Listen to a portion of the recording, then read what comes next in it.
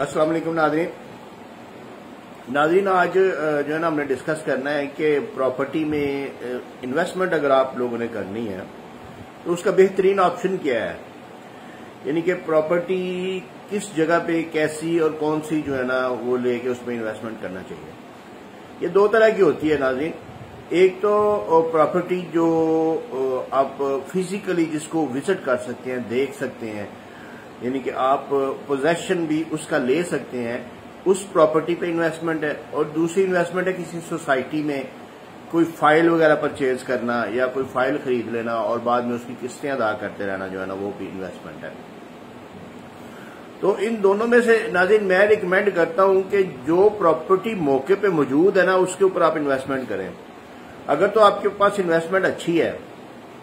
तो फिर तो आप कोई प्लॉट परचेज करने पक्का पक्का परचेज कर लें, अपने नाम पे रजिस्टर्ड करवा लें।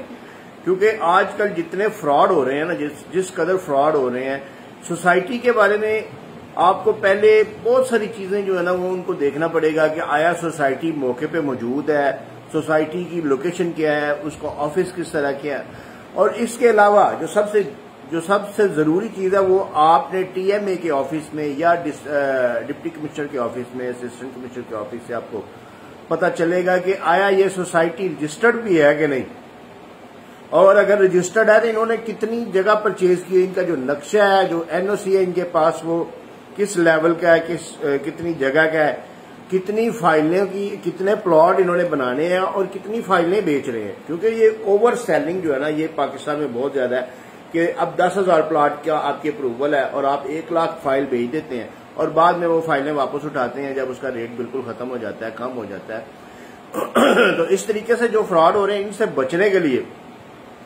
सोसाइटी में प्लॉट लेने के लिए क्या क्या देखना चाहिए, उस पर हम बाद में डिस्कस करेंगे। लेकिन अभी मैं आपको ये बताता हूँ कि जो ज़्यादा, यानी कि आपकी इन्वेस्टमेंट सेफ़ एंड साउंड है तो वो प्लॉट की शक्ल में आप शहर में या किसी गाँव में या कोई ऐसी जगह चूज़ करें, जहाँ पे आपको पता है कि ये रेट कल कला को बढ़ेंगे। सपोज़ के कोई ऐसा कोई एयरपोर्ट बन जाता है किसी शहर में और उस तरफ़ को जो रोड जा रही है उस रोड के ऊपर आप अगर परचेजिंग करते हैं तो फ्यूचर में उसकी डिमांड जो है ना वो उसमें इजाफा होने का जो है ना वो बहुत हद तक जो है ना वो उसका आ, उसका उम्मीद है कि वो ज़्यादा उसका मुनाफा देगा आपको। इसी तरह अगर कोई ऐसा किसी साइड पे कोई डेवलपमेंट हो रही है कोई सड़क नहीं बन रही है या कोई रिंग रोड बन रही है तो उसके ऊपर आप देखें कि अभी उधर जो जगह है वो सस्ती है। इसके अलावा आप डीसी ऑफ़िस से आप नक्शे वगैरह फ्यूचर के ले सकते हैं, वो पता कर सकते हैं कि फ्यूचर प्लान जो है ना वो क्या है। किस जगह पे कोई नई सड़क बननी है, उस जगह पे उस बनने से पहले उस सड़क के गिर्द जो है ना वो आप जगह खरीद सकते हैं। वो एक बहुत अच्छी इन्वेस्टमेंट होती है। और प्रॉपर्टी में, जो प्रॉपर्टी में इन्वेस्टमेंट करते वक्त आपने देखना यह है कि आप जिससे परचेज कर रहे हैं वो प्रॉपर्टी उसी के नाम पे है। अगर उसी के नाम पे है, उसका फ़र्ज़ चेक करें, उसकी निशानदेही चेक करें, उसका जो है ना वो लट्ठा चेक करें पटवारी के पास जाके और वो देखें कि क्या जो फ़र्ज़ दे रहा है, वो खसरे जो है ना वो उसी जगह पे आते हैं जो वो जगह दिखा रहे हैं। क्योंकि अक्सर फ्रॉड ये होता है कि वो जो बंदा आपको सेल कर रहा है ना, वो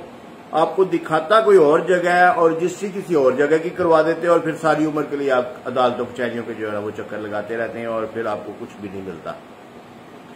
इसलिए आपने अपनी जमा पूंजी जो रखी हुई है, उसको इन्वेस्टमेंट करना है तो फिर,